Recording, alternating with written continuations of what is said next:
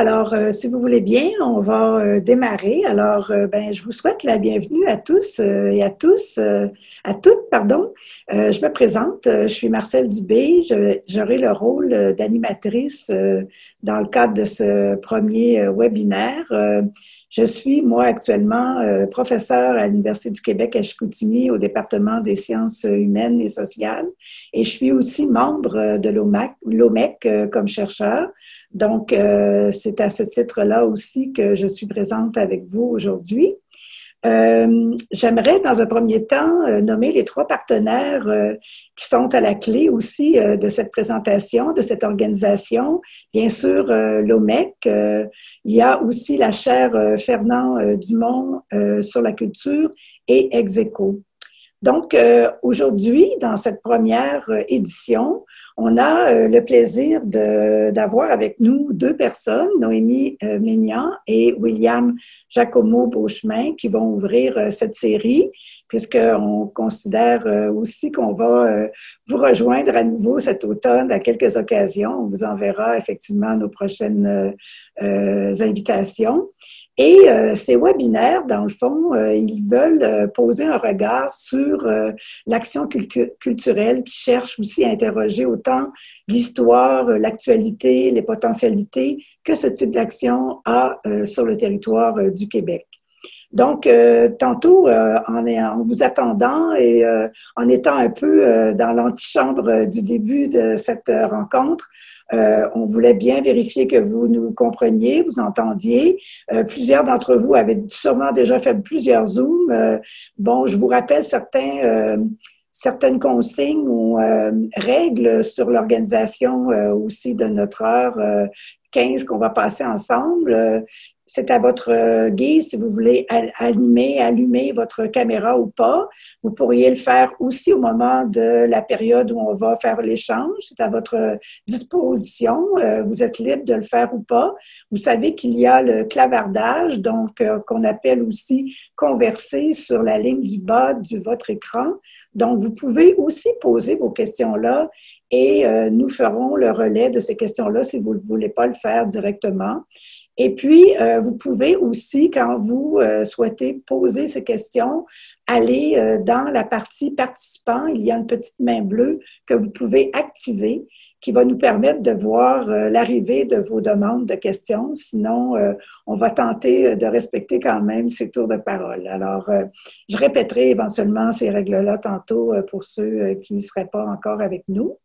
Donc, euh, je vous explique rapidement. On a une première demi-heure, 35 euh, minutes avec nos euh, invités qui vont nous présenter le contenu.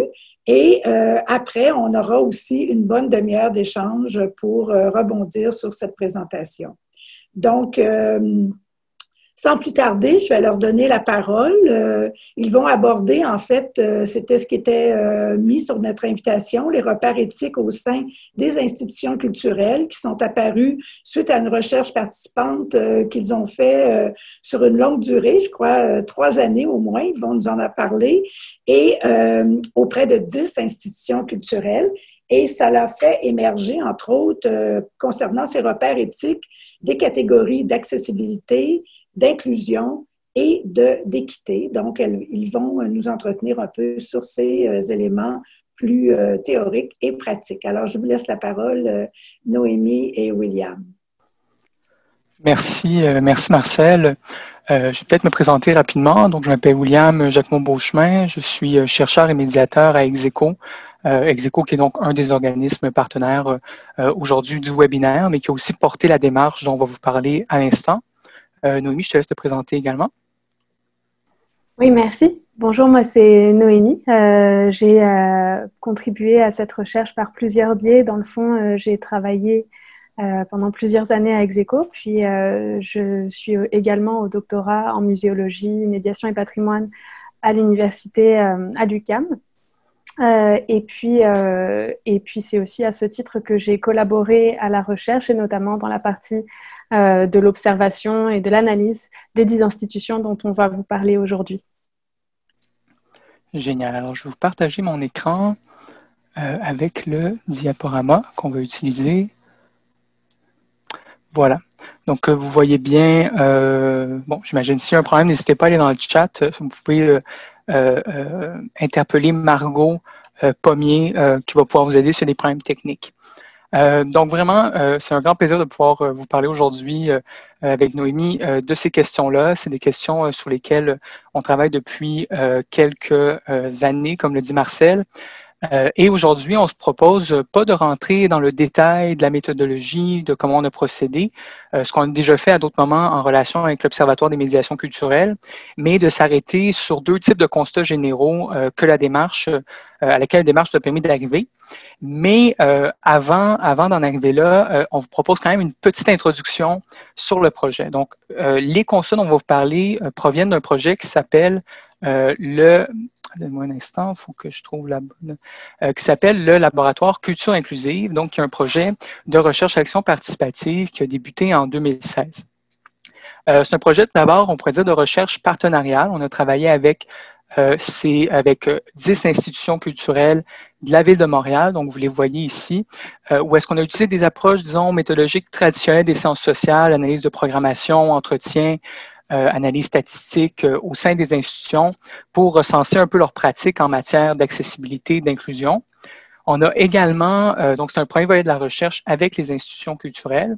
On a également travaillé avec, avec huit partenaires communautaires, sociaux, artistiques, qui étaient des associations vraiment qui travaillaient avec des membres qui provenaient de euh, groupes sociaux pour lesquels il y a euh, des freins en termes d'accessibilité qui sont évidents. Donc, euh, ça allait de groupes de jeunes noirs, métis ou racisés à des organisations qui travaillaient en santé mentale à travers des approches citoyennes. ça pouvait être des organisations en itinérance, donc une série de populations qui vit des freins en termes d'accès à la culture et euh, ce volet-là a été mené vraiment à travers une recherche participative. Je vous montre quelques photos pour que vous voyez le vibe un peu, là, mais dans le fond, euh, c'était des sorties culturelles où est-ce qu'on rencontrait euh, les artistes, on, on, allait faire des visites des lieux, euh, on, pouvait voir euh, bien sûr les, œuvres et on faisait de l'exploration des milieux, on allait interroger les personnes qui étaient présentes et on faisait des ateliers avant et après de debriefing pour tenter de comprendre c'est quoi les freins, c'est quoi les enjeux, c'est quoi les défis qui se posent aux institutions culturelles en termes d'accessibilité, d'inclusion et d'équité. Euh, et donc, ça, ça a été vraiment un, gros aspect du projet à ce niveau-là. On a aussi fait un volet de recherche-création sur lequel je ne pas, euh, mais qui était plus fait en interne de l'équipe. On pourra en discuter dans la période de, questions. Euh, mais l'idée de faire ces trois volets-là dans les deux premières années du projet, de 2016 à 2018, c'était d'arriver à une cartographie des enjeux. Euh, présents dans les institutions en termes d'accessibilité, d'inclusion, entendu vraiment dans un sens large. Et euh, donc, en regroupant un peu les données de ces trois volets-là, on, a réussi à avoir une, certaine cartographie euh, euh, donc de ces enjeux-là avec des recommandations, des pratiques qui étaient déjà en place.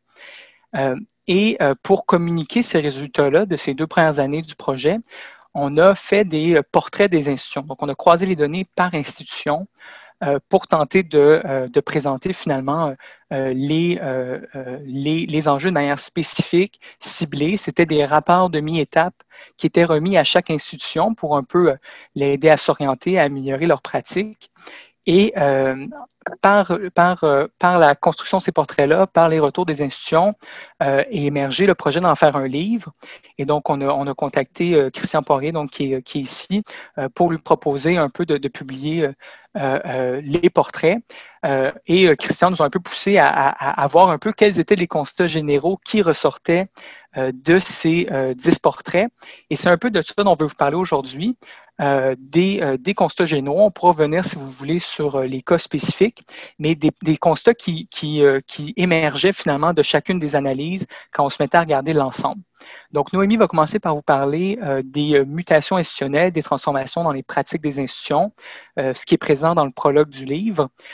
et moi, ensuite, je vais continuer en vous parlant donc des orientations éthiques, des trois concepts donc d'accessibilité, d'inclusion, d'équité présents dans la conclusion.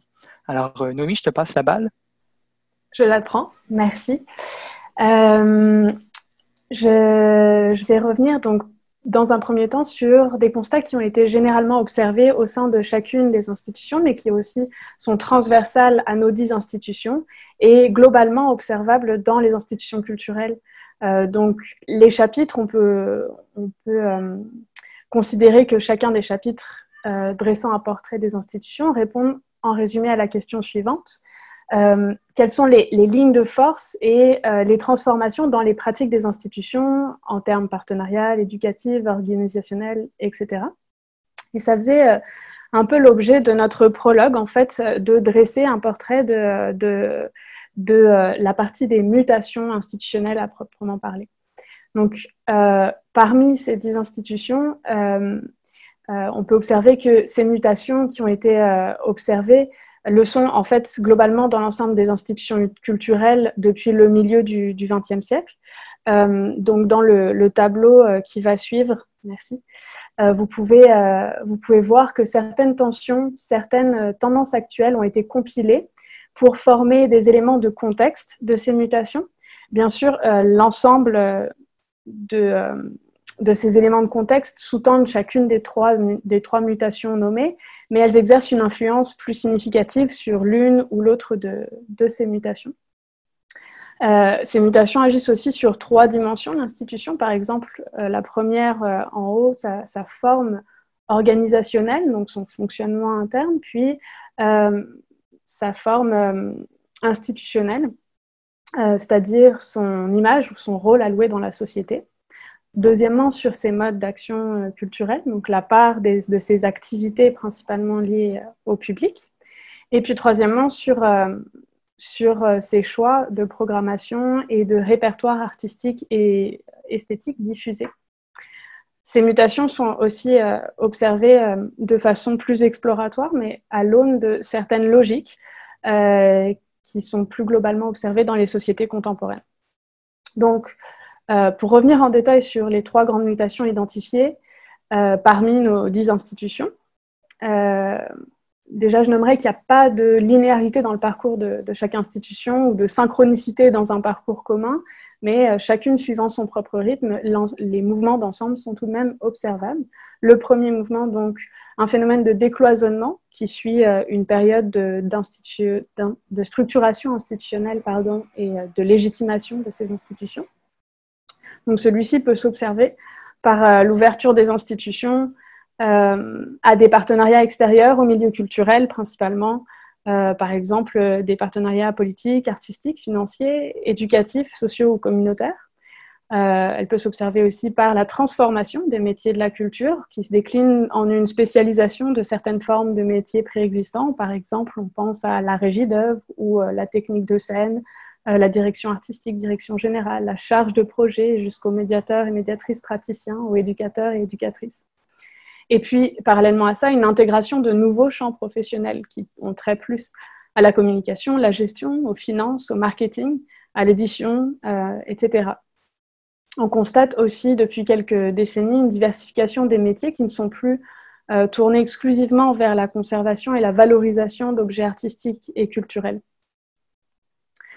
Euh, puis on peut, euh, on peut aussi définir euh, ce phénomène de décloisonnement par une nécessité qui, est, impulsée par la, recherche de sources de revenus diversifiées, que ce soit des financements publics ou privés, à la mission ou par projet, des revenus autonomes, par exemple par la création de produits, l'offre de loisirs, d'offres de loisirs ou de divertissement, on peut aussi, euh, euh, de, de, cette, de, ce constat découle aussi le, constat de la marchandisation de, euh, de, produits culturels, donc la création de produits dérivés, la, location ou la privatisation ponctuelle des espaces de l'institution ou l'offre de services ciblés qui vont contribuer globalement à son décloisonnement.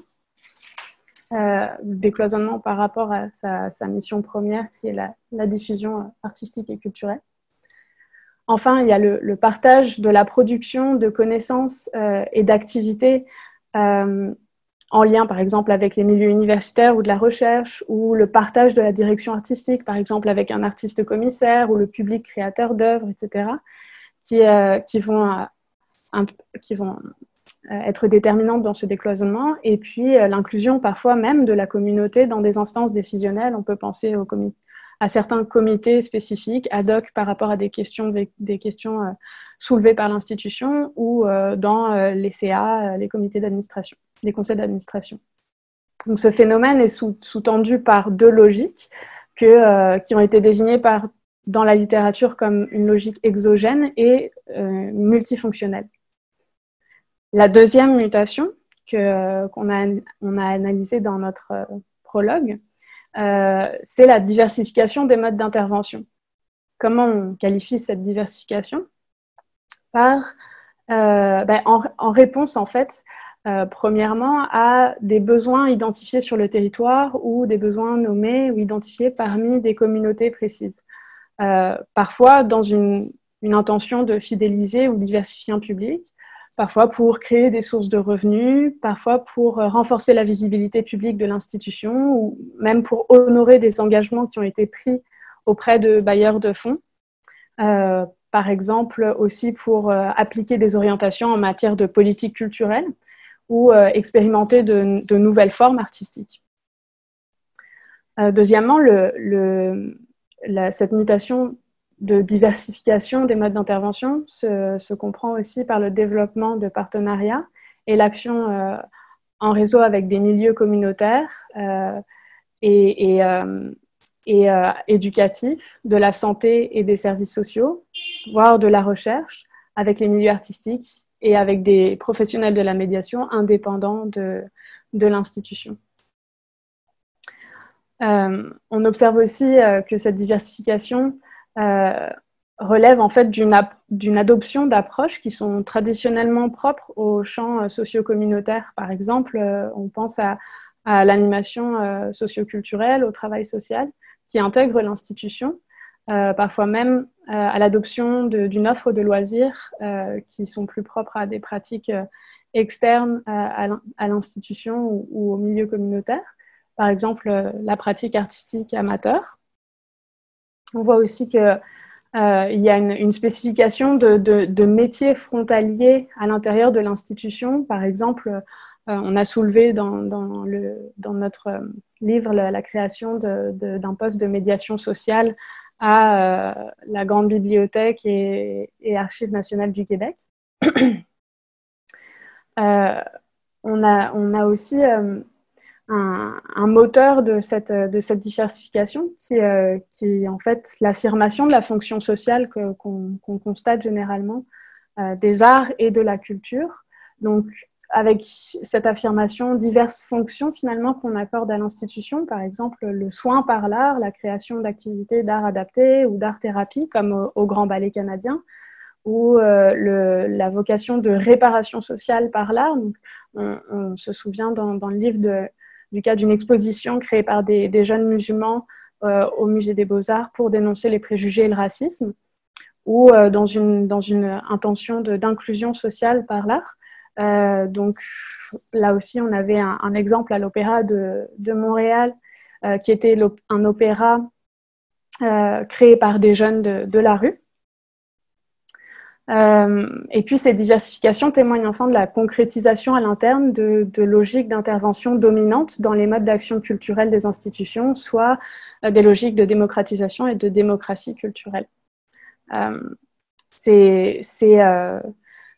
cette diversification est sous-tendue par deux logiques, soit la mise en réseau et la mise en relation, donc c'est-à-dire la mise en réseau en tant qu'organisation, au sein d'organisation, et la mise en relation en tant qu'actrice du corps social. Le troisième phénomène, dans le fond celui euh, qu'on identifie comme notre troisième mutation, c'est l'hybridation et l'éclectisme des répertoires esthétiques et, euh, artistiques. il est qualifié, enfin cette, cette, mutation est qualifiée pardon, par une ouverture des programmations artistiques entre euh, la culture au sens, euh, euh, savant, c'est-à-dire les cultures classiques qui étaient traditionnellement diffusées dans certaines de nos institutions, par exemple l'Opéra de Montréal, l'Orchestre symphonique de Montréal, l'Orchestre métropolitain, les grands ballets canadiens.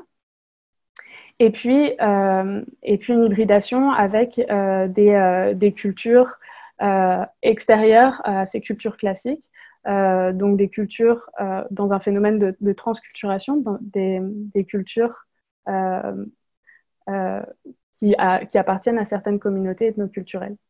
Et puis il y a aussi un phénomène d'ouverture de, ces répertoires entre donc, ces cultures légitimes ou savantes et puis les cultures populaires ou d'autres registres culturels.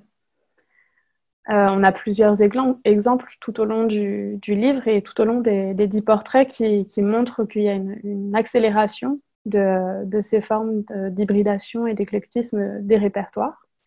Euh, puis globalement, euh, un, des, éléments de contexte qui permet d'expliquer cette, mutation, c'est bien sûr le, déplacement de la, culture légitime, euh, qui est, étant la culture classique, à des formes culturelles composites, avec une volonté de renouvellement des publics qui, il faut le dire, ne renouvelle pas forcément l'identité de ces publics ou la situation sociale de ces publics. Et puis, euh, et puis un, autre élément de contexte intéressant, c'est de voir comment la globalisation des modes de vie, donc l'accès à l'information, la mobilité euh, et les technologies de communication permettent d'avoir finalement une diversification des sources de, de, des sources de, je voulais pas le dire ainsi, mais consommation culturelle, des sources de, fréquentation culturelle, euh, qui amènent à une diversification, une reconfiguration du goût esthétique et culturel. Euh, et puis, euh, et puis une des volontés inhérentes aux institutions culturelles, c'est euh, la, plus grande représentativité sociale dans les programmations, donc une diversité d'ordre social et culturel. Deux logiques s'appliquent traditionnellement aux pratiques culturelles dans la sociologie de la culture mais euh, s'étendent ici à la programmation ou, euh, au répertoire des, institutions culturelles, soit l'omnivorisme culturel ou la dissonance culturelle, c'est-à-dire le métissage de ces, euh, de ces cultures. Et logiques, à, ces deux logiques s'adjoignent un impératif éthique, celui de la représentativité. Pour, euh, pour, conclure, je pourrais vous donner euh, un exemple de projet qui a vraiment retenu notre attention euh, parce qu'il cumule justement, il combine ces trois témoignages de mutation. Il s'agissait de l'opéra Chaka Pêche qui a été donné en premier lieu en 2018 par l'orchestre symphonique. et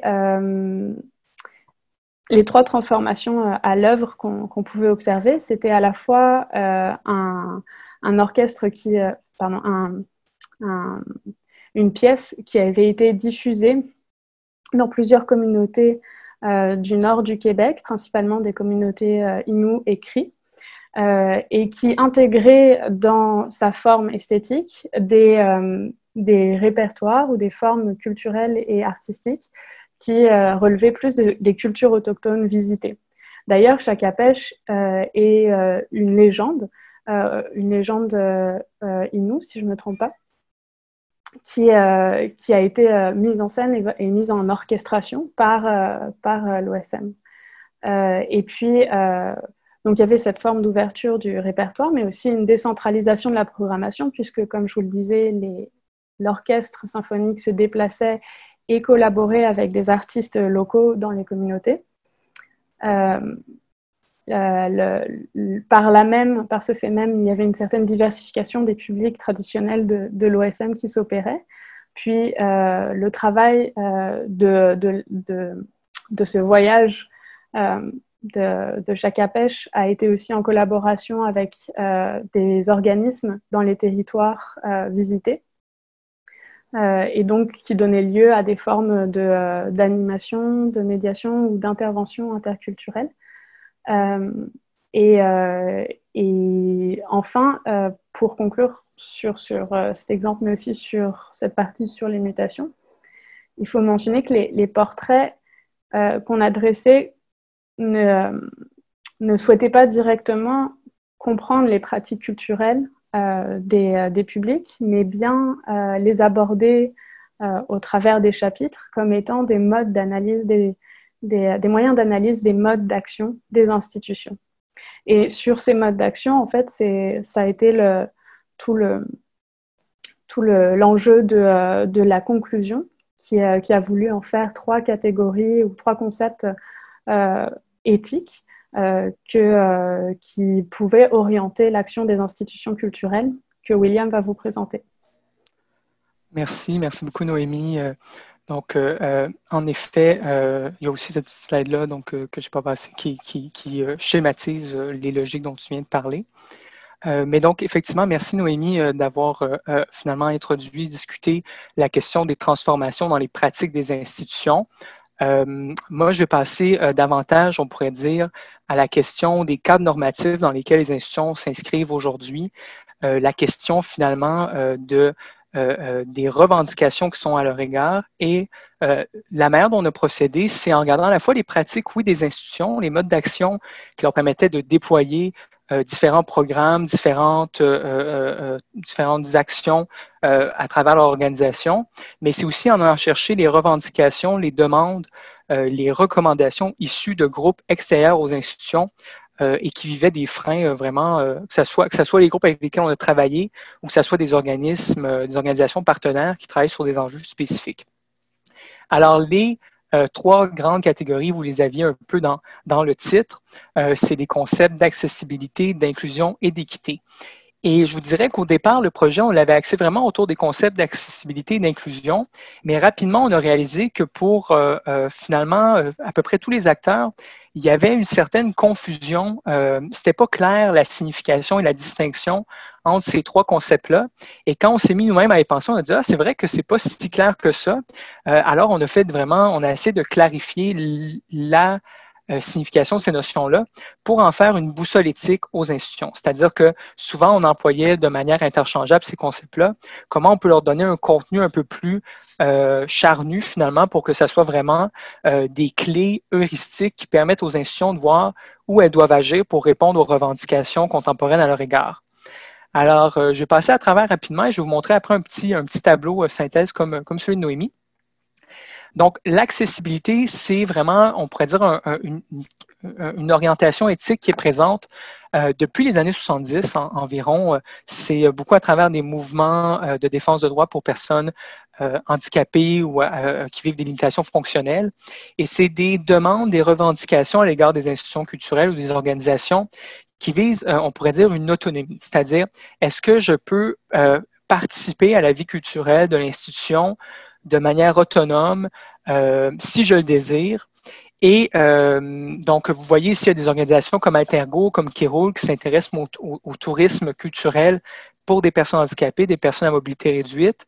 Euh, et qui euh, voit aussi différents enjeux qui se présentent. Et quand on parle de comment assurer dans une organisation, une institution culturelle, l'autonomie euh, des personnes qui se présentent, il y a différents enjeux qui émergent. Il y a des questions d'espace et d'aménagement. Est-ce que euh, est-ce qu'on peut se déplacer? Est-ce qu'on est confortable? est-ce que c'est un lieu qui est accessible? Il y a des questions d'accueil et d'ambiance. comment est-ce que les personnes s'adressent à nous? est-ce qu'elles s'adressent à nous avec sur un pied d'égalité, de manière infantilisante, de manière condescendante? Donc, il y a tout une série de questions qui relèvent de l'accueil, de l'ambiance du lieu. Euh, l'activité géographique, est-ce que c'est possible de se rendre dans les lieux culturels? Euh, ou est-ce que finalement, il y a une concentration de l'offre culturelle dans un quartier euh, et dès que tu es dans un quartier un peu excentré, ça devient une question, toute ta journée est prise pour participer à un spectacle de deux heures. L'accessibilité socio-économique, est-ce qu'on peut se permettre de se rendre, de, de participer à l'institution ou est-ce que les prix sont exorbitants? Et la question des communications, est-ce que quand l'institution s'adresse à nous, est-ce qu'on comprend? Et là, ça, vous voyez bien que ça peut, ça peut inclure vraiment une diversité euh, d'enjeux, ces catégories-là. La communication, ça peut être autant euh, en termes de vocabulaire utilisé technique euh, qu'en termes, est-ce qu'il y a de l'interprétation en langue des signes québécoises ou est-ce que ou est-ce qu'il y a différents outils disponibles? Euh, et donc, vraiment, la question de l'accessibilité, ça fait assez longtemps qu'elle est présente. Je vous dirais qu'elle euh, elle, s'est quand même bien intégrée aux institutions, même s'il y a encore beaucoup de défis, euh, beaucoup d'enjeux auxquels faire face. et souvent, on voit que ces stratégies-là, les stratégies pour les mettre en place, c'est entre développer des stratégies spécialisées pour certains publics. Donc, par exemple, développer des collections de livres adaptés en braille, en audio, en audio description, ainsi de suite. Euh, donc, il y a des stratégies spécialisées euh, et il y a des stratégies euh, universelles qu'on comprend souvent sous le concept d'accessibilité universelle, où l'idée, c'est par exemple d'avoir, de désigner les lieux et les services pour qu'ils soient dès la base, que tout le monde puisse, puisse y prendre part dès, dès, le départ. Alors, cette première catégorie-là, disons, je vous la mets ici pour l'instant, je vais passer à la prochaine. Euh, donc, l'accessibilité sur l'autonomie des personnes, on s'assure que si elles veulent, elles puissent venir. Mais ce n'est pas suffisant pour les institutions, souvent parce que euh, si, on, si on, fait, on fait simplement dire, on, on, s'assure simplement que l'institution est accessible, il y, a, il, y a, beaucoup de risques que les gens ne viennent quand même pas parce qu'ils ne s'identifient pas, parce que les formats des représentations, les propositions dans la programmation, ainsi de suite, ne leur correspondent pas. Et depuis les années, on pourrait dire 90, les institutions ont vraiment développé des stratégies euh, spécialisés euh, euh, pour, pour vraiment aller chercher une participation active. Et, donc, il n'est pas simplement de, de, rendre possible la participation, mais d'aller chercher, d'aller rejoindre des publics plus éloignés par des stratégies de médiation et d'éducation. Et on le voit, on le voit avec l'Observatoire des médiations culturelles, par exemple. Il y a vraiment eu au cours des 15, 20 dernières années une effervescence de projets éducatifs, de projets scolaires, de projets avec des groupes communautaires. Euh, qui prennent vraiment des formes diverses. Et il y a des organisations vraiment qui euh, se réclament du concept d'inclusion pour promouvoir euh, une, telle, une telle participation active. Je vous dirais qu'Execo, c'est un peu à travers cette porte-là qu'on est rentré dans tout ce questionnement-là, mais on a rapidement vu que notre, notre, point de vue là-dessus n'était pas suffisant, qu'il y avait d'autres enjeux. C'est pour ça que c'est pas simplement sur l'inclusion le projet, mais il y a d'autres organisations comme Projet collectif en inclusion à Montréal qui s'intéressent à voir comment s'assurer de créer des voies euh, de participation active où on va rejoindre des publics ou des groupes qu'on ne va pas rejoindre autrement. Euh, et donc, c'est un peu, un, peu euh, un autre pendant ou, une manière d'aller combler les, les, angles finalement de l'accessibilité en, allant vraiment chercher la participation de groupes spécifiques. finalement, la troisième catégorie que je vous propose pour, pour la discuter, c'est la catégorie d'équité. Et l'équité, c'est assez intéressant parce que bien que les défis, les enjeux soient présents depuis des décennies, c'est vraiment, on dirait, euh, depuis 10, euh, 20 euh, ans que dans l'espace public, dans l'espace médiatique, dans les recherches scientifiques également, il y a une discussion des enjeux d'équité. Il y a des groupes qui prennent ce concept-là pour s'en revendiquer. Euh, donc, l'équité en général, ça concerne non pas le rapport au public, mais la question de la représentation euh, des groupes, de groupes minoritaires ou minorisés euh, au sein des organisations, des institutions culturelles. Et quand on dit groupe minoritaire ou minorisé, donc on, finalement, c'est pour, c'est pour venir pointer vers une série, un ensemble de groupes qui n'ont pas accès, disons, aux moyens de création à, aux scènes, euh, à la capacité euh, de se produire, à, des, à, une place dans les institutions de manière paritaire avec d'autres groupes. Euh, donc là-dedans, on peut rentrer les personnes noires, racisées, on peut rentrer les femmes qui ne sont pas un groupe minoritaire, mais qui sont minorisées quand on regarde euh, euh, souvent la place qu'ils vont prendre euh, proportionnellement à leur poids démographique. on peut penser aussi à des artistes handicapés, neuroatypiques, qui vivent une série de défis qui relèvent de leur présence dans, dans les équipes artistiques des institutions.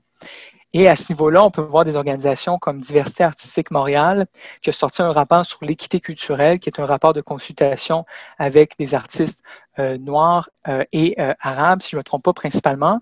il y a aussi des groupes comme Femmes pour l'équité en théâtre ou les réalisatrices équitables qui mettent de l'avant ce concept-là pour porter des revendications sur la place des femmes dans la création théâtrale et cinématographique.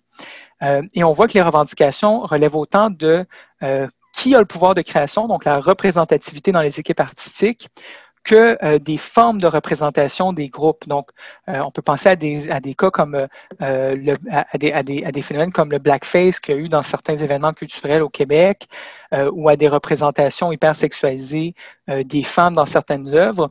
Et les revendications à l'équité critiquent également ces représentations-là pour dire que c'est finalement caricatural, violent, insultant et que ça ne permet pas d'atteindre justement les objectifs d'équité. Et finalement, il y a aussi la question de la reconnaissance publique et professionnelle, que souvent est un catalyseur, c'est-à-dire à qui sont remis les prix de l'industrie culturelle. C'est souvent euh, en fait à des hommes blancs, on va dire comme ça, euh, que c'est principalement remis. Et donc, il y a aussi des critiques à ce niveau-là. Au niveau des groupes de femmes, ça a été un catalyseur, comme je vous dis, à plusieurs moments. Donc, sur ce, je vous présente un petit peu ce tableau-là qui résume euh, grandes dimensions de chacun des concepts. Donc, l'accessibilité, on voit vraiment, l'idée, c'est vraiment que c'est un concept qui vise l'autonomie des personnes et qui utilise des stratégies d'adaptation euh, spécialisé ou universel des services, des environnements pour y arriver. Ça concerne finalement tout le monde parce que tout le monde peut vivre des enjeux en termes de mobilité, euh, de, euh, euh, euh peut vivre avec des limitations fonctionnelles, mais ça concerne à l'origine beaucoup les, les, les, droits des personnes handicapées.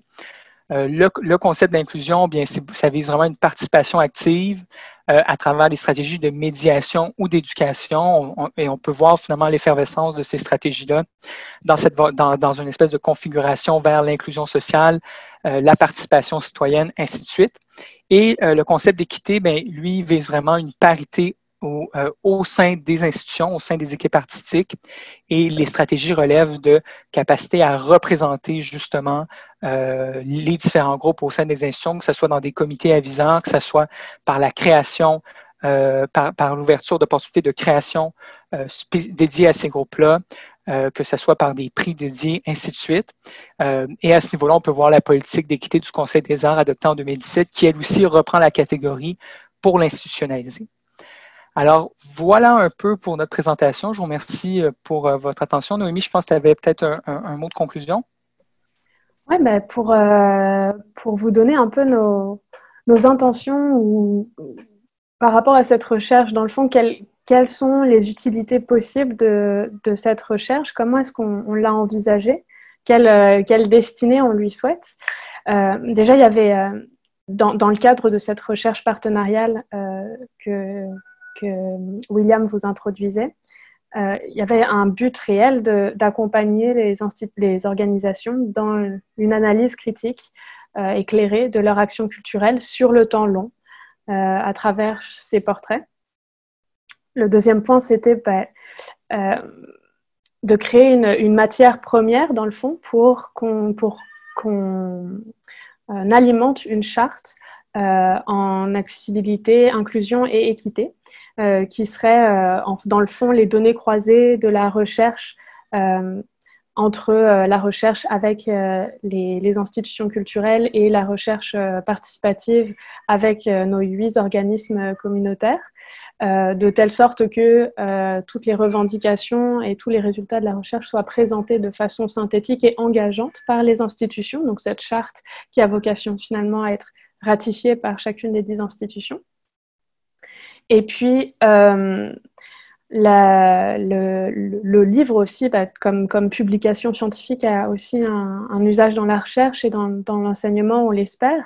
On voulait offrir d'une certaine façon des portraits synthétiques euh, et, de, et, des tendances intra- et inter-institutions euh, afin de constituer des études de cas. Puis enfin, bah, on, propose d'une certaine façon un, un certain portrait du milieu institutionnel de la culture à Montréal, qui est dans le fond une ville dont on loue le dynamisme culturel, lequel repose en, partie sur euh, ces institutions. Voilà. Merci euh, à tous et à toutes pour votre écoute. Bon, alors, euh, ben, merci effectivement à vous deux. je reprends le rôle d'animatrice que j'avais suspendu pour le temps de la présentation. Je remercie ceux et celles qui se sont euh, joints à nous euh, au cours euh, de ces derniers 30 minutes. Alors maintenant, la parole est à vous. On est là pour aussi échanger à partir de cette euh, présentation, euh, ce travail euh, important, j'allais dire, de, de, défrichage des pratiques institutionnelles et qui nous amène probablement plusieurs réflexions, questions. Vous êtes peut-être tous et toutes actifs dans ce milieu-là, ou en tout cas, ça vous permet aussi de rebondir peut-être sur vos propres pratiques. Alors, la parole est à vous. comme j'expliquais tantôt, la mécanique pour prendre cette parole, on peut activer une main bleue dans le marqueur au bas de votre écran quand vous allez à participant, ou vous pouvez aussi lever la main, puisqu'on n'est pas nombreux, je vous vois tous. Et on peut aussi, si vous voulez, euh, laisser vos caméras fermées, mais euh, aussi poser vos questions dans la partie euh, qu'on appelle converser ou chat, des fois appelée aussi sous cette appellation.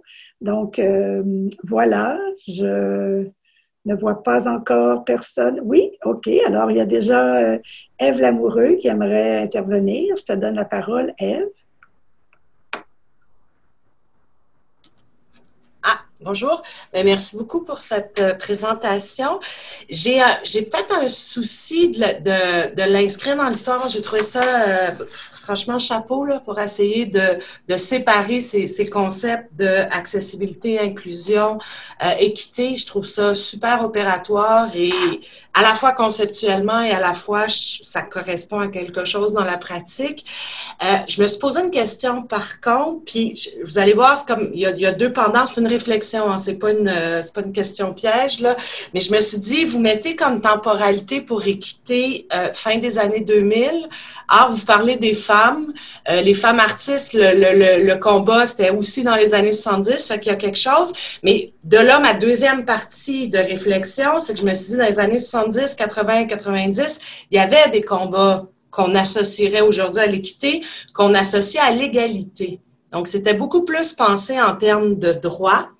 Et là, je me suis demandé pourquoi le basculement, qu'est-ce que ce basculement-là permet que l'autre concept ne permettait pas. Et y a-t-il une différence entre l'égalité l'équité? Euh, bon, à part de marquer le formel informel, ça je le comprends bien. Bref, c'était, euh, j'ai, pas de réponse. Je sais pas si vous en avez, mais ça, ça m'a marqué à la fois comment ce concept-là, euh, il, il, cache une histoire qui existe depuis plus longtemps, puis comment en même temps, ben, il est dans les traces d'un autre, tout en étant différent. Merci Eve. Euh, tu, devances une question que j'avais, alors je vais laisser aux deux personnes euh, la, tentative de l'illustrer un peu, ce, choix du concept d'équité. À vous. Oui, oui, très, très bonne question. Merci Eve. Euh, effectivement, on n'est pas, on pas remonté jusqu'aux années 70 pour voir tous les mouvements finalement de revendication. Effectivement, à ce niveau-là, il y, a des limites. ce qu'on a regardé surtout, c'est quoi les catégories qui actuellement sont mobilisés euh, par des groupes qui revendiquent, euh, qui ont des demandes auprès des institutions culturelles. Et il y en a certains dont on voit des racines un peu plus lointaines. Euh, et, euh, et, je pense que ce que tu soulèves là, ça serait extrêmement intéressant d'observer, par exemple, dans le cas des revendications de groupes de, de, groupes de femmes artistes, la, le moment où ça a basculé euh, de, des revendications à l'égalité à des revendications à l'équité et quelle était la logique derrière ça. Mais effectivement, le risque que tu nommes d'invisibiliser des luttes en, en, disant que finalement toutes les luttes sont sous insigne-là, euh, euh, il, est, réel. Euh, mais actuellement, quand on regarde les mouvements, c'est davantage autour du concept d'équité que ces demandes-là s'inscrivent. Mais je prends en note ton commentaire. merci. Est-ce que tu veux rajouter quelque chose, Noémie? Euh, peut-être euh, un petit point sur euh, le caractère intersectionnel aussi de, certaines luttes. Dans le fond, il, existe depuis longtemps. Il y, a, certaines auteurs féministes noires qui le revendiquent depuis les années 70. Néanmoins, ça restait des revendications assez nichées au sein de certaines communautés.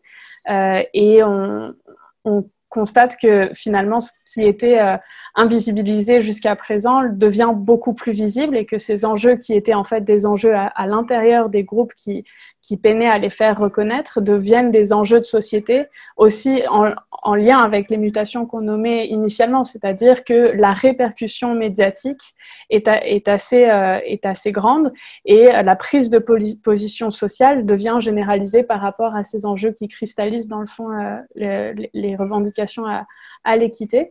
Mais pourquoi euh, le passage de l'égalité à l'équité? C'est une, une, très bonne question. Euh, est-ce que euh, je continue un peu sur cette question-là? En fait, moi, la, je, l'avais déjà, cette question-là, Eve.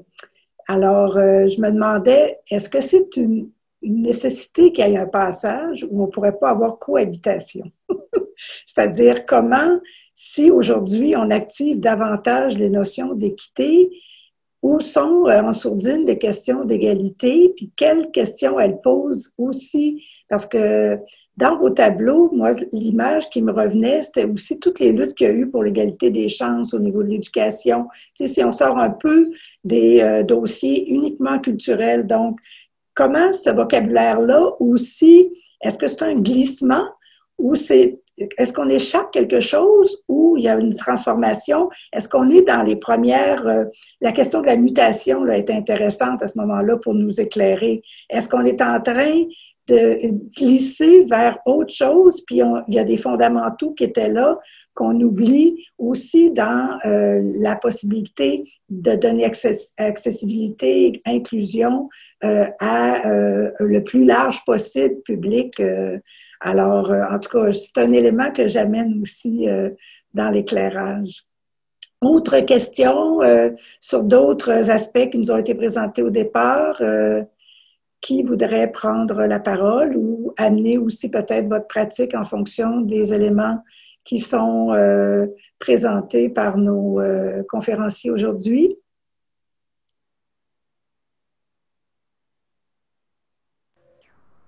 Euh, je peux peut-être enchaîner. Euh, euh, chapeau, Noémie et William, pour cette synthèse.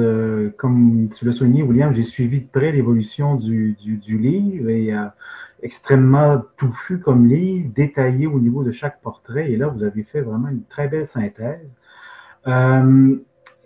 effectivement, vous, vous montrez bien dans le livre, en fait, c'est une tension propre à la démocratie libérale et même au-delà, cette, cette, tension entre universalisme et singularité. Euh, voilà comment, comment être traité à la fois comme individu, mais aussi comme individu appartenant à des catégories ou à du collectif, et donc de façon universelle ou de façon singulière. Et bon, euh, je crois que là, il y, a, un défi important que vous illustrez aussi dans, chacune, enfin, à votre façon, dans chacune des institutions. Euh, vous le mentionnez bien, vous vous intéressez à de, globalement quand même de grandes institutions, euh, même s'il y en a des plus petites que d'autres. Est-ce que vous avez, puis donc il serait intéressant d'effectuer des analyses d'organismes ou d'institutions beaucoup plus petites, réduites en taille, qui ont, vraiment des défis assez, singuliers. Comment avez-vous quand même des pistes? vous avez quand même une connaissance assez fine de certains terrains. Euh, comment, comment les enjeux, les trois enjeux, comment ils s'incarnent dans des institutions de, vraiment de plus petite taille, à une échelle nettement micro? Euh, quelques intuitions, j'aimerais vous entendre là-dessus. Euh, et un autre aspect aussi, qui est parfois un angle mort de, ce type de réflexion, c'est que parfois il y a un postulat, je ne dis pas que c'est votre cas, mais dans certaines recherches, un postulat d'une volonté de la part des publics, ou en tout cas d'un public qui serait naturellement porté à aller vers les institutions si un ensemble de conditions, euh, par exemple liées à l'inclusion, liées à l'accessibilité ou à l'équité, étaient mises en place. Mais est-ce que c'est fondamentalement le cas? Euh, et donc, vous soulevez la question de l'amont. Comment en amont inclure les publics? Et donc, ça soulève aussi la question des non-publics. Mais euh, pour certains d'entre eux, le rapport à l'institution est forcément ou volontairement très, très différent et distinct d'un rapport qui se situerait même dans, dans, les paramètres de ces trois, par exemple, de ces trois dimensions éthiques-là. Donc, euh, et avec le développement de communautés vraiment euh, numériques, par exemple, totalement hors institution, euh, par le bas, euh, donc on, on, le voit, il y en a. Donc, et là, on parle vraiment des non-publics qui sont à l'extérieur du, champ culturel institué. Euh, on est plutôt dans la marge. Donc, comment, comment cette réflexion-là, comment vous l'amenez? Est-ce que c'est, bon, ce serait une piste aussi intéressante, mais j'aimerais quand même vous entendre là-dessus. Ou est-ce que c'est amené par les institutions que vous avez rencontrées? Alors, euh, je vous laisse la parole. Je vais y aller, euh, tu rajouteras euh, Noémie. Au niveau des micro-institutions, je pense intuitivement à un des partenaires qui était la Maison Théâtre. Donc, qui est une relativement petite institution. C'est sûr qu'à l'échelle du, euh, du, théâtre jeune public, euh, c'est une grande institution, mais bon, euh, on va faire la, la, part des choses à côté de la BNQ, de la Place des Arts. Euh, je dirais que eux, comment ils font, ils mettent vraiment l'emphase sur les activités éducatives, bien entendu. Donc, ils, ils, souvent, en fait, souvent dans les institutions, c'est peut-être une petite aparté là, mais je pense que ce qui est utile de dégager ces trois orientations-là, c'est aussi que souvent les institutions, ils vont aller vers des stratégies d'inclusion, de médiation, d'éducation parce que c'est shiny, parce que euh, en termes de marketing, en termes d'image publique, ça paraît bien. Puis, c'est des beaux projets, c'est des projets qui sont pertinents, nécessaires pour transmettre la culture, pour la faire vivre, mais euh, qui vont peut-être parfois venir occulter des enjeux liés à l'accessibilité, ou est-ce que c'est un peu moins, euh, disons, marketable de, de, de, de présenter euh, quand on va réaménager notre espace, on va s'assurer d'avoir une bonne signalétique, on va s'assurer d'avoir des lignes de guidage, ou l'équité, ou est-ce que c'est de travailler dans l'équipe, la gouvernance, tout ça. Mm. Euh, donc, donc, mais souvent pour les petites institutions, j'ai l'impression que les trois orientations restent, restent réalistes, mais à leur échelle. Donc, euh, par exemple, la Maison Théâtre, une des pistes, c'était de créer un comité, en, termes d'équité, un comité de jeunes, euh, euh, comité artistique de jeunes pour pouvoir aider dans le choix des, pièces. Et c'est ce qui, si je ne me trompe pas, c'est ce qu'ils déploient aussi. Et en termes d'accessibilité, ben, d'adapter leur, leur, mobilier à leur jeune public. Donc, tout ça s'adapte finalement au type, au type de public, au type de, perso, au type de personnes qui, qui participent à l'institution.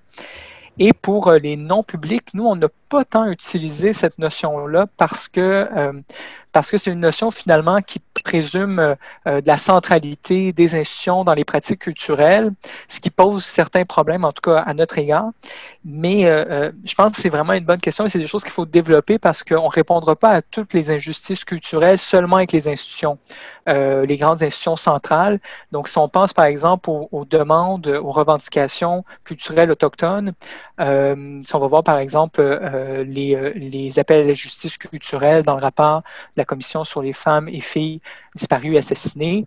Euh, ça relève pas, c'est pas de dire le TNM devrait euh, avoir une programmation autochtone, c'est de dire on devrait avoir les ressources pour créer, avoir nos propres institutions, nos propres programmations culturelles euh, pour mettre de l'avant notre propre culture par nous-mêmes. Et donc, le, rôle des institutions culturelles à ce niveau-là est moindre. Le rôle des, de la gouvernance culturelle, des conseils des arts, des, des arts, ainsi de suite, est beaucoup plus grand. Mm-hmm. Peut-être que je laisserai réagir, Noémie. Si... Oui, euh, ben pour cette question un peu en dévolet que, que qui me fait euh, activement réfléchir, merci euh, Christian. Euh, je te dirais qu'intuitivement, euh, dans les petites institutions, il y a une question de territoire aussi qui est différente. Euh, souvent, les institutions plus petites sont directement liées à leur territoire immédiat, aux problématiques vécues immédiatement sur leur territoire. Si je reprends l'exemple de la maison théâtre, il y a une, préoccupation pardon, qui n'a pas duré longtemps dans, les activités, mais qui était directement liée à l'environnement de la maison théâtre, c'est-à-dire les les HLM Jeanne Mance, les habitations sociales Jeanne Mance, juste, juste en, face, euh, et qui visaient à, soutenir le, raccrochage scolaire ou euh, le, parcours scolaire des, des, enfants via, via euh, des activités théâtrales. je pense plus à des, institutions territoriales dans le sens où euh, je prendrais l'exemple de, de, musées de sociétés dans, dans certains, territoires. Euh, par exemple, euh, moi j'ai un, exemple que, j'aime beaucoup, qui est le musée Arlatan, qui est à Arles, dans le sud de la France, euh, qui est un, musée en fait qui, n'a pas réussi à, se, à, jamais avoir une, action complètement autonome parce qu'il représentait tellement une culture, une affirmation culturelle forte qu'ils ils étaient obligés de négocier en permanence avec la, avec la communauté qui était un acteur, veut, veut pas, principal de la programmation, de la façon dont l'information était euh, diffusée, médiée, etc. Parce que c'était un patrimoine encore vivant et actif. Et donc, euh, d'une certaine façon, ces, revendications du moins à la, représentation, à l'équité ou à l'inclusion ou à l'accessibilité, elles étaient portées tout de suite par, la communauté. Euh, ou si je pense à l'écomusée du Fiermonde, ben, ils ont, comme mandat avec qui on a, travaillé, euh, avec qui j'ai travaillé, euh, ils ont comme mandat de, valoriser euh, l'histoire ouvrière et l'histoire globale du quartier Centre-Sud à Montréal. et puis par ce biais-là, ils ont aussi développé des partenariats extrêmement pérennes sur des années et des années avec, certains organismes, notamment en éducation populaire, dans le quartier. Donc il y a vraiment une, question d'échelle aussi sur, sur le sur le, l'action des, institutions. Est-ce que euh, l'institution a vocation à, appliquer les considérations d'accessibilité, euh, d'inclusion et d'équité sur l'ensemble du territoire national ou à l'échelle euh, d'un quartier Bien sûr, la question de l'accessibilité échappe un peu à ça parce qu'il y, a des normes qui sont requises pour l'ensemble pour des institutions pour pouvoir accéder à, mais parfois ils vont spécialiser leur leur action euh, en fonction de, euh, revendications euh, immédiates, sur, géographiquement immédiates. Et puis il y a la question aussi des publics et des, non-publics que je trouve que je, que je trouvais intéressante. Et là, j'ai pas noté ma réponse, donc je creuse, je creuse ma tête et je, je trouve plus. Mais, mais je serais, je serais bien, bien heureuse d'en reparler. Puis euh, je, trouvais que la réponse de, William était euh, très pertinente par rapport à ça. Et du coup, ma réponse me revient en tête. Euh, dans, la sortie des institutions de leur mur, il y a aussi la volonté d'aller à la rencontre des, des, des communautés et, et, de les aborder par peut-être un autre biais, par exemple celui du loisir ou, ou du divertissement, mais qui euh, va directement les, les, mettre en, les exposer directement à, euh, un objet culturel ou artistique, mais par un autre biais, par un biais prétexte. Je pense à, euh, c'est peut-être pas le meilleur exemple, mais je pensais au bus, à l'Opéra Bus, qui était un bus de la STM qui se promenait dans, les rues de Montréal avec un, un, opéra à son bord un, des chanteurs lyriques à, son bord. C'est vraiment une, façon très originale de, sortir l'œuvre de l'institution, mais de la mettre aussi euh, dans un espace où elle est inattendue et où peut-être elle va rencontrer des personnes qui sont a priori non publiques et pas intéressées par les institutions.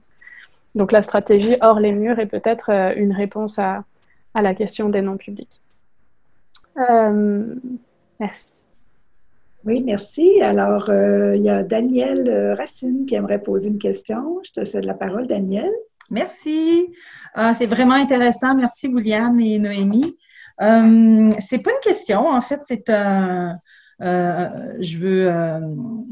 je veux poursuivre sur l'exemple qu'a pris William concernant la maison théâtre que je connais assez bien et peut-être rectifier certaines choses. En fait, tu as employé le mot shiny pour euh, dire que leur position par rapport à, leurs actions était shiny.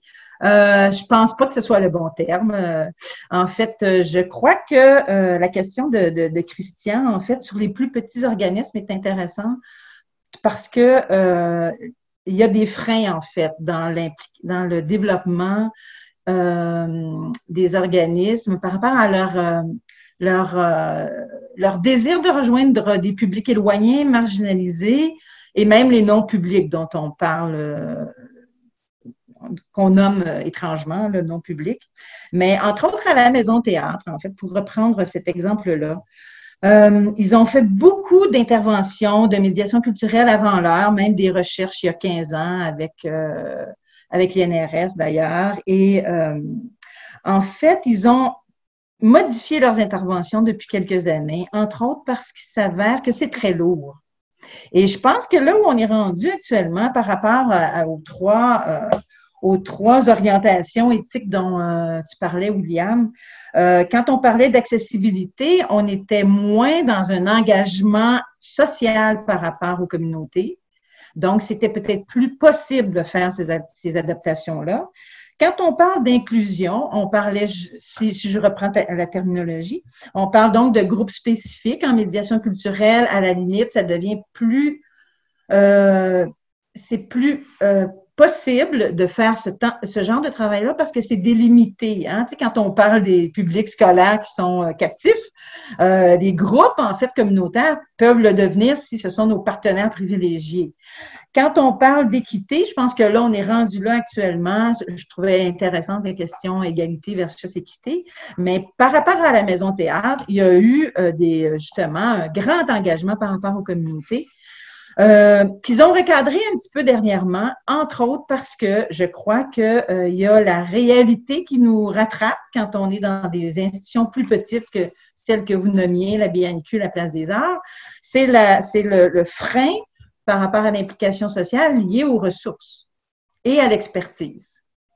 Et euh, Marcel, qui est travailleuse sociale de formation, euh, peut certainement témoigner que euh, je pense qu'on peut, euh, dans plusieurs cas, on minimise l'importance de l'expertise artistique, donc de la particularité du travail des artistes, qui peut en soi avoir un pouvoir de transformation mais on minimise peut-être aussi parfois dans, les, euh, dans le travail euh, euh, communautaire l'expertise liée au travail avec des populations marginalisées ou avec d'autres types de populations. Et donc, je voulais juste spécifier que dans l'exemple de la maison théâtre, il y a cette réalité-là qui est liée à leur mandat mandat qui est plus de type éducatif. Ils font, ils font, ils font quand même beaucoup on travaille, nous, le réseau Culture, avec la Maison Théâtre, justement, pour amener des populations immigrantes qui sont ailleurs dans les quartiers euh, excentrés. Euh, il y a des autobus qui se déplacent. Euh, la Maison Théâtre fait de la philosophie action maintenant. on font beaucoup d'interventions, mais je pense qu'il y a, entre autres, par rapport aux institutions, juste pour justement faire peut-être une différence, il y a la difficulté des, des ressources. On pourrait en parler longtemps parce que je connais beaucoup d'organismes et justement, il y a, des freins. Euh, et euh, dans plusieurs cas, pour les petits organismes, ça tient aussi à l'engagement des individus, pour le dire comme ça, parce que la plupart du temps, les structures ne sont pas organisées comme, dans les institutions euh, que vous avez regardées. D'ailleurs, une des preuves, c'est que le TNM est une institution qui a développé à sa manière les liens avec la communauté. Ça a commencé d'ailleurs par la pratique des, justement, de de la troupe amateur. Et maintenant, ils ont vraiment des activités plus de médiation culturelle, mais ils, ont, ils font aussi, euh, ils ont beaucoup de liens avec les écoles. Mais c'est une institution, le, TNM, on s'entend, et ils sont euh, bien positionnés pour faire un travail, étendre leur travail, mais ils l'ont fait très progressivement, en fait. Alors, euh, ben voilà, je m'arrête là. Alors, je vois le temps filer tout doucement. Est-ce que, euh, avant de vous redonner la balle à messieurs, dames, euh, est-ce qu'il y aurait d'autres commentaires, d'autres questions euh, qu'on pourrait recueillir, une ou deux peut-être, avant qu'on puisse clôturer cette rencontre? Soyez pas gênés. Je ne veux pas, oui, c'est ça, par mon intervention, vous bloquer.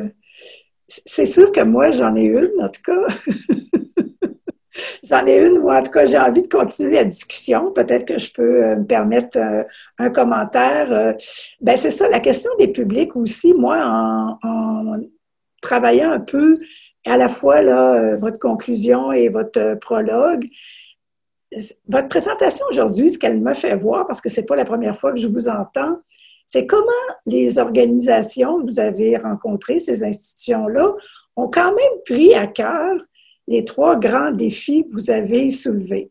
Tu sais, on n'est pas euh, devant des institutions rigides, euh, tu sais, qui ont euh, vraiment fermé la porte, qui ont plutôt voulu. En même temps, il y a tous les côtés pervers à ces mutations-là, comme tu nous as fait voir un peu, ou en tout cas, si ce n'est pas les côtés pervers, c'est dans quel monde on est aujourd'hui? Ça revient aux discussions qu'on disait tantôt. Est-ce qu'on est dans l'équité plus que l'égalité? Bon. Mais moi, si je peux me permettre, puis je, pense à un élément, entre autres, au niveau de l'accessibilité, quand vous parlez de la gratuité. Sais, c'est des choses qui ont été expérimentées euh, à plusieurs endroits. Je pense à Culture du cœur, je pense ici au Saguenay-Lac-Saint-Jean aussi, avec euh, un programme qui permettait d'avoir des billets gratuitement. Et je pense encore à ce qu'on vient de vivre au niveau de la pandémie avec une accessibilité au niveau du, du j'allais dire, de la plateforme numérique, on pouvait avoir accès là, pendant un certain temps à plein de choses gratuites. Mais moi, ça me pose toujours la question, est-ce que j'y vais? Et qu'est-ce qui fait que j'y vais? Qu'est-ce que je fais que je deviens un de ces publics-là? Donc, y a-t-il un travail de sensibilisation, d'éducation où je reste, moi, dans les créneaux qui, m'ont été donnés à connaître, puis dans le fond, je suis pas curieuse, puis je vais pas vers d'autres choses? Alors, tu sais, jusqu'où il y a aussi quelque chose, il y a une espèce de travail à la fois chez l'institution, mais chez l'individu aussi. Là. Comment on met en, tension ça? Voilà, c'était ma, question intervention. Est-ce qu'il y aurait quelqu'un d'autre qui voudrait aussi euh, euh, interagir avant qu'on donne la parole euh, à William et Noémie? Je crois qu'on a une question dans le chat aussi. Amélie Nadeau qui dit. Vous m'entendez? Oui. Oui, très bien. Ben voilà, je trouve très intéressante la, euh, très intéressant d'aborder l'importance de l'expertise en, en, intervention parce qu'on constate que c'est souvent des, des freins euh, dans, la, dans la pratique. Euh, puis la connaissance aussi des communautés là, qui, euh, qui est souvent détenue par euh, des, non pas des spécialistes de la culture, de la question culturelle, mais des spécialistes de la question de, de, de l'intervention ou du travail social. moi, je, me demande, est-ce qu'il y a des pistes? Je sais que dans l'Estrie, dans la Montérégie, il y a des cellules de recherche par rapport à, au lien entre la culture et la santé, mais moi, je serais très ouverte à en connaître un petit peu plus sur euh, ce versant-là de, la question dans ses liens avec euh, les concepts éthiques que vous avez développés aujourd'hui. Merci. Alors, on va vous laisser euh, répondre un peu à tout ça, William et Noémie. Ben, tout d'abord, merci, merci beaucoup tout le monde. C'est des questions très pertinentes, c'est stimulant. Peut-être je reviendrai tout d'abord sur le commentaire de Daniel euh, peut-être que euh, euh, mon intervention ne visait pas particulièrement la maison théâtre, pour être franc. je pense que ça, concerne toutes les institutions, cette question-là d'utiliser la médiation, les approches éducatives comme des outils pas seulement, mais aussi de marketing. Et ça, on le voit assez bien euh, quand on regarde, par exemple, d'autres organisations comme l'Opéra de Montréal, euh, comme euh, BNQ, Place des Arts aussi, c'est la même chose. Ils utilisent leurs activités de médiation aussi comme des stratégies, dans leur stratégie de levée de fonds. Et ils ont créé des, dans les dernières années à peu près toutes des fondations dédiées à financer ces activités-là. Donc, ça devient un moteur et euh, ça serait plus difficile, je pense, pour ces institutions-là de faire ça avec des enjeux relatifs à l'accessibilité euh, dans le sens, euh, disons, euh, d'assurer l'autonomie des personnes par des aménagements, ainsi de suite, ou par l'équité, travailler la gouvernance, les, les, artistes qui ont l'accès à la scène, ce qui se fait davantage, disons, dans les coulisses. Tandis que la médiation, c'est plus euh, plus éclatant. Mais ça ne veut pas dire que c'est pas c'est pas des actions euh, euh, nécessaires, pertinentes. Mais à travers cette recherche-là, en regardant les revendications, je pense qu'il y a une centralité aux stratégies de médiation qui est qui peut-être vient justement occulter l'importance d'autres types de revendications. Ça ne veut pas dire qu'il faut les tasser, mais ça veut dire qu'il faut quand même élargir, je crois, euh, euh, le domaine. Mais après ça, la maison théâtre, sur la maison théâtre en particulier, je pense que c'est un de mes coups de cœur, une des institutions que j'ai découvert euh, dans le projet parce que j'ai pas d'enfant. et c'est vraiment le travail qu'il fait, il est, merveilleux. Là, le développement de stratégies vraiment pédagogiques adaptées avec mélange de philosophie, c'est, je pense, que c'est des voies de développement pour les pratiques d'intervention culturelle. Sur la question euh, de Marcel, sur les publics, je pense que qu'est-ce que tu abordes, ça relève de l'appartenance. Donc, euh, comment est-ce qu'on. C'est une question aussi que je me rappelle que Véro Leduc euh, m'avait posée dans une autre, une autre conférence. et je pense que c'est c'est vraiment cette question de l'appartenance qui est, qui est clé. Et l'appartenance, on peut la développer par des projets de médiation en faisant participer des groupes, en, en valorisant ces participations-là. Le TNM fait euh, des ateliers euh, de création, un spectacle avec des différents groupes en neuro, neuroatypie, euh, santé mentale. ça permet d'avoir une représentation effectivement, mais le sentiment d'appartenance passe vraiment beaucoup plus, à mon sens, par l'équité. Qui est sur la scène? Qui a le pouvoir de création? C'est des repères culturels de qui qui sont mis de l'avant et qui sont qui sont mis justement sur les affiches et qui servent, et, parce que ces institutions-là, on va se le dire, c'est les institutions qui ont qui proposent les formes de représentation culturelle les plus légitimées au Québec.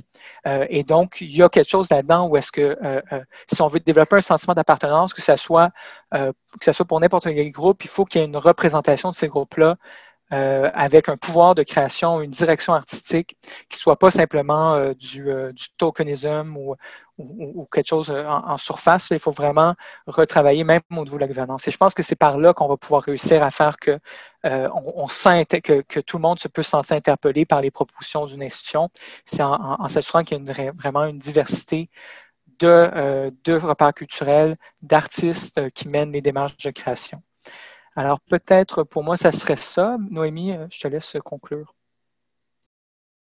Oui, moi, j'étais intéressée par la question d'Amélie sur euh, la reconnaissance des expertises et, euh, hum, entre les milieux culturels et les milieux santé, services sociaux, communautaires, etc. Je pense qu'il y a différentes formes d'intervention qui existent et c'est pour une bonne raison. C'est parce qu'il y a différents besoins qui sont adressés, qui sont parfois rejoignables ou qu'on peut parfois cumuler. Et parfois, euh, c'est important aussi que, que certains, euh, que, que, que, effectivement les, institutions reconnaissent la, part d'expertise de, de leurs partenaires, notamment, puisque c'est sous cette forme-là que, les activités s'organisent la plupart du temps, notamment avec les publics qui viennent des publics captifs dont parlait Daniel du milieu communautaire.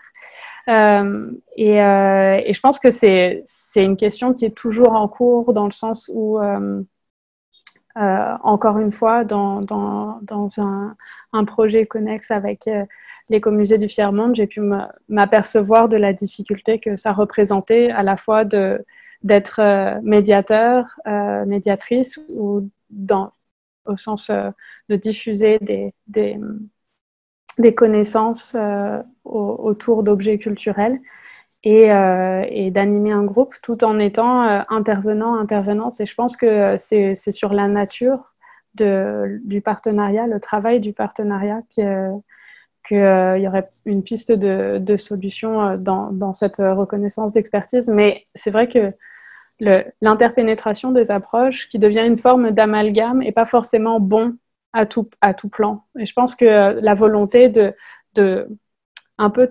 tentaculaire des institutions de, de s'installer dans tous les milieux de vie est à la fois très bénéfique et parfois euh, un peu, euh, un peu euh, exploratoire, pour le dire gentiment, et qu'il peut y avoir des, il peut y avoir des, des couacs. et donc, moi, j'aimerais travailler encore cette question-là et je pense que elle mérite d'être euh, d'être reconnue. Mais au travers du livre, on nomme plusieurs exemples euh, de, euh, développement de pratiques qui, qui, sont complètement externes à la mission initiale des institutions. Je nommais les grands ballets canadiens tantôt qui ont développé une expertise dans l'art-thérapie. C'est devenu leur fer de lance en matière d'action culturelle mais euh, c'est euh, un, un, travail de longue haleine, peut-être même à, à, réajuster, tout comme, euh, tout comme euh, les, les, actions spécialisées d'autres institutions culturelles. Dans le fond, ça pose la question de la reconnaissance aussi des expertises propres à chacun des milieux. C'est ce que tu dis, Noémie. Peut-être juste aussi vous, vous pistez Amélie Nadeau en fait, il y a quelques membres à l'intérieur de l'Observatoire qui travaillent sur ces questions-là de, santé, art. Alors, peut-être d'aller visiter notre site euh, ou de prendre contact là, avec nous, euh, éventuellement, si ça vous intéresse euh, plus, parce qu'effectivement, c'est des questions là, qui sont au cœur des recherches ou des questions qu'on porte en regardant les pratiques de médiation culturelle. Donc, si vous êtes d'accord tous, euh, je vais vous remercier effectivement de votre participation. Oui, William?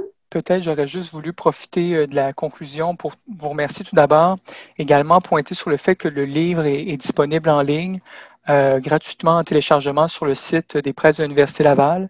Et aussi vous vous inviter à ne pas hésiter à nous contacter euh, moi et Noémie, euh, si vous avez des discussions sur des questions qu'on n'a pas abordées, que euh, vous aimeriez qu'on aborde ensemble ou en plus petit groupe, on est disponible et ça va nous faire plaisir de le faire.